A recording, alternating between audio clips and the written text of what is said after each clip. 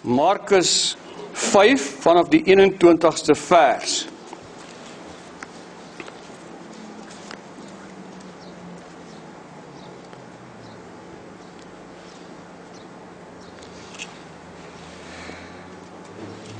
En toe Jesus weer in die skuit oorgevaar het na die ander kant. Nou waar was hy? U wat al saam met ons in Israel was, die see van Galilea aan die aan die oorkant van die see van Galilea, Galilea van die heidene, die land van die Gadareeners, daar waar legio woonagtig was. Jesus was daar en nou vaar hy oor die see van Galilea na Kapernaum waar sy basis was en die sinagoge in Kapernaum. Ons was uh, al in die mirasies van daardie sinagoge. Dis waar Jesus nou kom. En uh ons lees hier toe hy oorgevaar het na die ander kant het 'n groot menigte by hom vergader en hy was by die see. En daar kom een van die owerstes van die sinagoge met die naam van Jairus En toe hy hom sien, val hy aan sy voete neer en smeek hom dringend en sê: "My dogtertjie is op haar uiterste. Kom lê haar die hande op sodat sy gesond kan word en sy sal lewe." En hy het saam met hom gegaan en 'n groot menigte het hom gevolg en hom verdring. Nou in die volgende paar verse is daar die vroutjie wat aan bloedvloeiing gely het en sy hou die Here Jesus op terwyl hy op pad is na Jairus se huis en 'n geruime tyd het verbygegaan. Jesus het haar gesond gemaak. En dan lees ons in vers 34 en hy sê vir haar dogter: "Jou geloof het jou gered. Gaan in vrede en wees van jou kwaal genees." Terwyl hy nog spreek, kom daar mense van die owerste van die sinagoge se huis en sê u dogter is dood. Waarom val u die meester nog lastig? Maar dadelik toe Jesus die woord hoor wat gespreek is, sê hy vir die owerste van die sinagoge: Moenie vrees nie. Glo net. Tot sover. As u dan verder gaan lees, sal u sien hoe dat hy by Jairus huis gekom het en hierdie dogtertjie uit die dood uit opgewek het. Maar ons teksvers vir vanoggend is vers 36. Maar dadelik, let op die woord dadelik. Toe Jesus die woord hoor wat gespreek is. Wat het Jesus gehoor? Moenie die meester verder lastig val nie. Die dogtertjie is dood.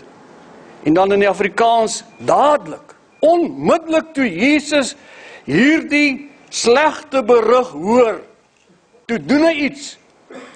Sê hy vir die owerste van die sinagoge: Moenie vrees nie. Glo net. Moenie vrees nie. Glo net. Wil volgens met ons praat oor hierdie gedagte. Vrees jy of glo jy? Vrees jy of glo jy? Ons teksvers sê moenie vrees nie. Glo net. Maar weet u die boodskap wat ons dikwels hoor uit die mond van die sielevyand is moenie glo nie. Vrees net. Moenie glo nie. Vrees net. Nou ons kan net een van die twee dinge doen. Of vrees of glo. En die vraag is vanmôre waar kom vrees vandaan? Wat is vrees? Hoekom vrees ons? Ek wil reg in die begin van my boodskap 'n stelling maak en 'n definisie heg aan vrees. En ek wil sê dat vrees is geloof in 'n negatiewe rigting. Daar's eintlik geen verskil tussen vrees en geloof nie. Vrees is geloof in 'n negatiewe rigting. Nou, waar kom geloof vandaan? As ons dit verstaan, kan ons ook verstaan waar kom vrees vandaan. Nou Romeine 10 vers 17 sê vir ons die geloof is dus deur die gehoor en die gehoor deur die woord van God. So waar kom geloof vandaan? Dis nie dis nie hoeveel ek glo nie. Dis nie hoe groot my geloof is nie. So baie keer hoor ons iemand sê maar daardie broer het 'n groot geloof. En wonder ek hoe groot is die geloof? So groot soos 'n molsoop of so groot soos 'n berg? Maar my broer en suster geloof is nie net ek knyp my duime vas en sê ek glo, ek glo, ek glo nie. Bybelse geloof het 'n inhoud. Dit gaan nie oor hoeveel ek glo nie, dit gaan oor wat ek glo. En wat glo ek? Ek glo die woord van God. Ek hoor die woord van die Here en dit wek geloof in my hart op. Ek glo wat die Here sê want God volgens Romeine uh, volgens Numeri 23 vers 19 sê God is nie 'n man dat hy sou lieg of 'n mensekind dat dit hom sou berou nie. So wanneer ek na die woord van die Here luister, as ek die woord van die Here lees, dan gee dit inhoud aan my geloof. So, dis wat ek glo. So ons ons verstaan dan uit wat ek reeds gesê het dat geloof kom deur die gehoor. En die gehoor kom deur die woord van God. Dis die basis van Bybelse geloof. Om terug te kom na my eerste stelling. Vrees werk op dieselfde basis. Behalwe dat ek nie die woord glo nie, maar ek glo al die gerugte wat ek so rondom my te hore kom. Ek glo die negatiewe. Ek glo die skinderpraatjies, ek glo die bangmaak storieetjies wat so volop is. Ons mense is so lief of ek sal nie sê dis ons mense nie, ek dink nie ons mense doen dit nie, nie behoort dit nie te doen nie. Maar die maklikste ding vandag is is sit iets op 'n op 'n e-pos van van iets verskrikliks wat iewers gebeur het of gaan gebeur en almal glo dit onmiddellik. En daar word vrees in harte opgewek want dis wat jy glo. Of jy glo die woord van die Here, die geloof kom deur die ge, ge, gehoor en die gehoor deur die woord van God of jy glo al die ander dinge. Jy weet daar daar was 'n Indiaanse hoofman wat uh onder 'n sendeling tot bekering gekom het. En hy het waaragtig tot bekering gekom en die sendeling het hom 'n bietjie bearbei en toe is die sendeling daar weg en na 'n jaar het die sendeling weer daar langs gekom op sy reis en hy vind hierdie hoofman wat 'n jaar gelede tot bekering gekom het en hy vra vir hom beskryf vir my bietjie jou Christelike lewe. Beskryf 'n bietjie vir my jou geloof. Hoe het jy hierdie jaar wat verby is beleef as 'n Christen? Jy's nou nie meer 'n heiden nie, jy's 'n Christen. Hoe het jy dit belewe? En hy antwoord die sendeling op hierdie manier. Hy sê: "Vir my is dit asof hier binnekant in my twee honde is. 'n Swart hond en 'n wit hond. As ek die wit hond kos gee, dan wen hy die swart hond. En natuurlik as ek die swart hond kos gee, dan wen hy die wit hond. Dis was sy manier om sy geloof uit te druk. En my broeder en suster, dis presies hoe dit werk met vrees en met geloof. Dit hang af watter een gee jy kos. As jy jou geloof kos gee, dan gaan jou geloof vrees oorwin. As jy vrees kos gee, gaan jou vrees jou geloof oorwin. Dit hang af watter een van die twee jy voed. Maar al twee kry hoofsaaklik ingang deur ons gehoor. Want soos ek vir u gesê het, eintlik is daar nie 'n verskil tussen vrees en geloof nie. Dit is al twee geloof, maar net in twee verskillende rigtings. En daarom Mag ons vanmôre ore hê wat kan hoor. Here Jesus sê in Markus 4 vers 24 hierdie woorde. Hy sê pas op wat julle hoor. Pas op wat julle hoor. Oppas waarna julle luister. Want die geloof kom deur die gehoor. Of dit nou vreesgeloof is of Bybelse geloof, dit kom deur die gehoor. Waarna luister jy? Ons is so geneig om vir mekaar te vra wat sê die mense? Of al vra jy dit vir iemand nie wonder jy in jou hart wat sê die mense? O ek het vanmôre gepreek. Wat sê die mense? Ons jong pastore wat hier is vanmôre. Ons wil so graag hoor wat die mense sê. Soos 'n jong soos die pastoor, hy was al 'n gesoute pastoor, nê. Nee, net so uh grys soos ek. Lewenservaring al bietjie gehad en hy staan by die deur. Nou dis nie ek nie want ek wil ook maar graag hoor wat sê die mense. En daar kom 'n ou tannie wat vir hom kwaai hom om die mond smeer en sy pastoor het dan vanmôre fantasties gepreek. Maar hy was gesout. Hy sê vir baie dankie tannie maar die duiwel het dit so pas vir my gesê.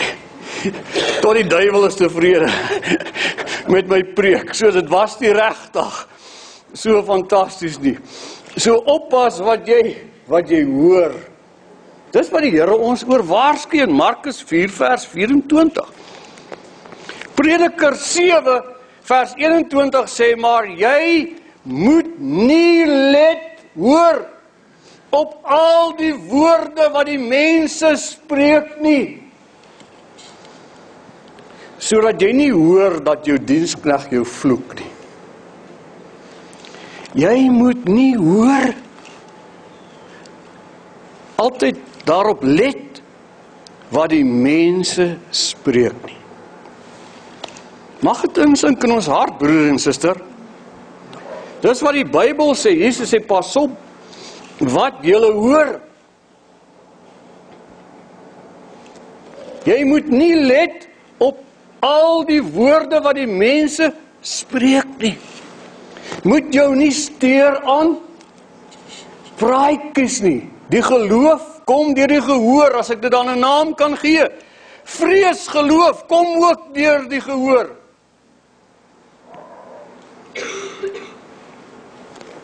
In Korintiërs 15 vers 33 sê die Here se woord verskoon tog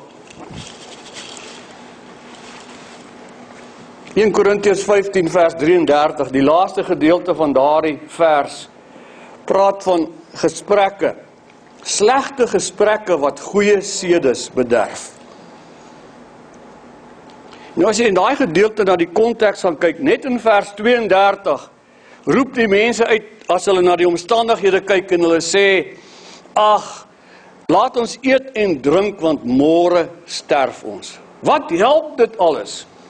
Kom ons vat in die lewe wat ons daaruit kan kry want laat ons eet en laat ons drink want môre sterf ons en dan kom Paulus en hy sê dat hierdie slegte gesprekke bederf goeie sedes. Dit kan jou van die vertaling sê dit kan jou laat ondergaan. As jy jou steur aan die woorde van mense. As jy kyk na die woord van die Here in Timoteus Ek dink dit is 2 Timoteus 2 vanaf vers 15 waar waar Paulus vir Timoteus sê hy moet die woord van die waarheid regsny. En dan sê hy vir hom daar uh in vers vers 16 jy moet onsinnige praatjies moet jy vermy. En dan praat hy die volgende vers. Hy sê want hierdie praatjies as dit posvat in jou hart dan word dit soos 'n kanker wat voortwoeker. Kan jy sien ons is inderwaarheid altyd met geloofwekkende goed besig. Of jy luister na goed wat negatiewe geloof in jou hart wek by name vrees of jy luister na die woord van die Here wat ware Bybelse geloof in jou hart opwek. Pas op wat jy hoor. Let nie op al die woorde wat mense spreek nie. Nou wil ek vir u wys. In die Bybel is daar talle voorbeelde, ek gaan vir u twee voorbeelde noem. In Numeri die 13de hoofstuk is die 12 verspieders in die land Kanaan in om die land te gaan verken en nou kom hulle terug en hulle moet verslag lewer. En ek ken die verhaal hoe dat 10 van die 12 negatief was. Hulle kom daar in Numeri 13 vers 32 en vers 33. En hulle sê die land is groot. Hy sê maar die mense is ook groot. Ek gebruik nou my eie woorde. Ons is so sprinkane in hulle oë en ook in ons eie oë. En ons sal hierdie land nie kan vat nie. Dan sê die woord in daardie gedeelte in Numeri 13 vers 32, maar die 10 verspieders het slegte gerugte versprei. Slegte gerugte. Hulle het so goed in hulle doel geslaag. Hulle het soveel geloof. Negatiewe geloof. Vrees in die harte van die volksgenote opgewek as jy hoofstuk 14 gaan lees. Dan sien jy vanaf vers 1 hoe dat die volk daardie hele nag deur geween het. Hoe dat hulle gekla het oor die uittog uit Egipte, hoe dat hulle teen Moses opgetrek het. Die gevolg van negatiewe slegte gerugte en die volk het dit geglo. En dan later in hoofstuk 14 staan Josua en Caleb op en hulle sê dis waar die land is groot. Maar God is met ons. Die Here het dit aan ons beloof. Ons kan hulle oorwin want God is met ons. Maar toe is die skade gedoen. En as jy daai verhaal gaan lees, sal jy sien dat net Josua en Caleb het die beloofde land binne gegaan. Die res van die volk het omgekom. Vrees het hulle doodgemaak. Vra vanmôre die vraag: Vrees jy of glo jy? Leen jy jou ore uit vir die regte dinge? Of steur jy jou aan al die praatjies en al die dinge rondom jou? En dit wek in jou hart vrees op. Geloof in 'n negatiewe rigting. Om by ons geleesde gedeelte te kom. Die tweede voorbeeld. Ons teksvers sê vir ons dat terwyl Jesus besig was om te praat, het daar mense gekom wat gesê het moenie die meester verder lastigval nie die dogtertjie is dood. En dan in ons Afrikaanse Bybel staan daar dadelik. Dit is asof Jesus iets wou doen aan die saak. Dadelik toe hy dit hoor, sê hy vir vir Jairus, moenie vrees nie. Glo net. Nou van die Engelse vertalings die uh, New International Version en selfs die amplified Bible sê. Die New International uh, uh, version sê uh, uh dat die Here hulle geïgnoreer het. Ignoring them, dis wat daar staan. Ignoring them. Jesus told the ruler of the synagogue, "Don't be afraid, only believe." Die amplified Bible sê overhearing but ignoring them. Die Here het gehoor wat hulle sê. Maar hy het dit geïgnoreer. Kan jy sien eintlik word Jesus hier en en en Jairus voor 'n keuse gestel. Wat wil jy glo? Jairus moenie vrees nie. Moenie dit wat hierdie mense sê aanvaar nie. Glo net. Let nie op al die woorde wat die mense spreek nie. Die geloof kom deur die gehoor en die gehoor deur die woord van God. En broeder en suster, hoe werk dit? Ons het al hier en daar vir u genoem hierdie afgelope tyd. 2 Korintiërs 10 vanaf vers 5 sê vir ons ons moet Ons moet elke gedagte gevange neem en dit gehoorsaam maak aan Christus. Met ander woorde, dis wat Jesus prakties daar gedoen het toe daardie berig kom dat die dogtertjie dood is. Hy hy het Jairus se gedagte as dit ware arresteer en vir hom gesê moenie daarna luister nie. Glo wat ek vir jou sê. Neem elke gedagte gevange en maak dit gehoorsaam aan Christus. Vrees jy of glo jy? Weet jy dis nie iets wat sommer maar net oor nag gebeur nie. Dis dis deel van ons godsdiensoefening. Dis nie iets wat ek vir u voor kan bid en jy staan by die deur uit en dit gaan nou reg wees nie. Ek en jy en dis hoekom ons 'n boodskap soos vanmôre hoor. Moet dit prakties gaan oefen. Ons sal onsself moet herinner Ons sal onsself moet kondisioneer om hierdie beginsel in ons lewe toe te pas. Hebreërs 5 vers 14 sê die geestelike volwassenes besit geestesvermoëns wat deur die gewoonte geoefen is. Jy sal moet leer om jou ore te sluit vir die gepraat daar buite. Jy sal moet leer om jou ore oop te maak vir die beloftes van God se woord en daarop te lewe en daarop te teer. Ek sê nie vanmôre dat as u by die dokter was en hy sê vir u meneer of mevrou ek is jammer. Ek het vir jou slegte nuus, jy het kanker. Dat jy dit moet ignoreer in die sin van ignoreer nie. Dis nie wat Jesus bedoel het nie. Maar wat ek wel vir u wil sê is u moenie as u daar voor die dokter sit en u hoor hierdie slegte nuus sê ja, nou is dit verby. My lewe het geen sin of betekenis meer nie. Ek kan nou maar op 'n hoopie gaan sit. Dit help tog nie om verder te wil lewe nie. Dan gee u plek vir vrees. Die Here het die lewe en die dood in sy hande. So, wat ek wil sê is u moenie U kan nie deur iets te ignoreer beteken nie dit bestaan glad nie.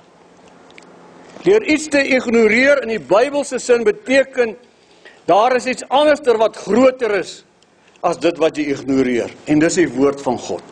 As jy daai slegte nuus hoor, is die eerste ding wat jy vir jouself kan sê is my God is die groot geneesheer van die kranke.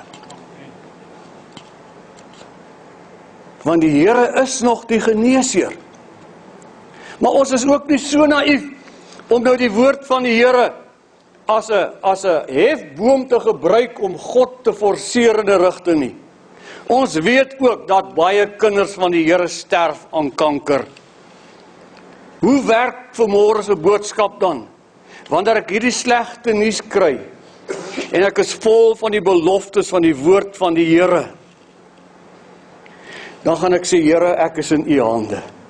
Romeine 8 vers 28 sê alles werk mede ten goeie vir hulle wie God liefhet. Alles is alles. Ook hierdie kanker in my lewe. Here, ek is U kind. U het 'n doel daarmee. As U my wil genees, genees my. As ek moet sterwe hier aan, help my dat ek as U kind terwyl ek in hierdie in hierdie situasie steeds U kan verheerlik mense na u toe kan lei ensovoorts kan u sien want ek is in God se hande ook. Dit werk mede ten goeie dis hoe dit werk. Ek neem hierdie gedagte gevange. Ek maak dit gehoorsaam aan Christus. Ek maak dit gehoorsaam aan sy woord. Vrees jy of glo jy? Ek wil 'n laaste skrif vir u lees en dis in Psalm 112 vers 7. Dit praat oor die regverdige. Hy sê hy die regverdige, die kind van die Here, vrees nie vir slegte tyding nie. Beteken nie hy is hy hy hy is nie bang nie want hy gaan nooit slegte tyding kry nie. Omdat hy 'n kind van God is. Dis nie wat hier staan nie. Wat hier wel staan is as hy slegte tyding kry, skrik hy nie daarvoor nie. Is dit nie die einde van die wêreld nie? Hoekom nie? Sy hart is gerus, vol vertroue op die Here. Here, ek is in U hande. Ek is uwe, ek is U kind. En hoeveel maal het ek nie al met mense te doen gekry wat wat hierdie slegte tyding gekry het, maar tot die dag van hulle dood kon jy die Here in hulle lewe sien. Kon jy die vrede van God in hulle lewe sien. Het hulle vir my meer beteken as wat ek vir hulle beteken het. Want in hulle binneste was daar iets wat groter was as vrees. Die geloof dat God in beheer is. Die geloof dat God die laaste sê het in my lewe. Die geloof dat hy dinge vir my ten goeie sal laat uitwerk. Aan die ander kant kan ek ook sê hoe dank ek die Here dat ek vanmôre kan getuig in my eie lewe, die van my familie, die van gemeentelede deur die jare. Dat hy ook die Here is wat waarlik genees. Maar dit gaan nie dit gaan nie oor ek glo ek glo ek gaan gesond word nie. Dit gaan oor geloof in 'n God wat my hou in die holte van sy hand. Vrees jy of glo jy? Mag die Here ons help dat ons sal doof word vir die gesprekke van mense en van die media en van al die dinge rondom ons en dat ons sal hoor wat die Here sê uit sy woord. God het nog altyd vir sy kinders in die benardste situasies ook al 'n boodskap van hoop gehad. Kom ons bid saam.